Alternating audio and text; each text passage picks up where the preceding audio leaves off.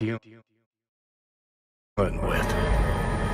Thought you were just unlucky at first, but I kept watching and finally realized what your problem is.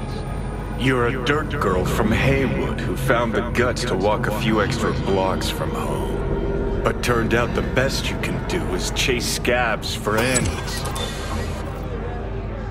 Sure seem to know a lot about my past. Well, seems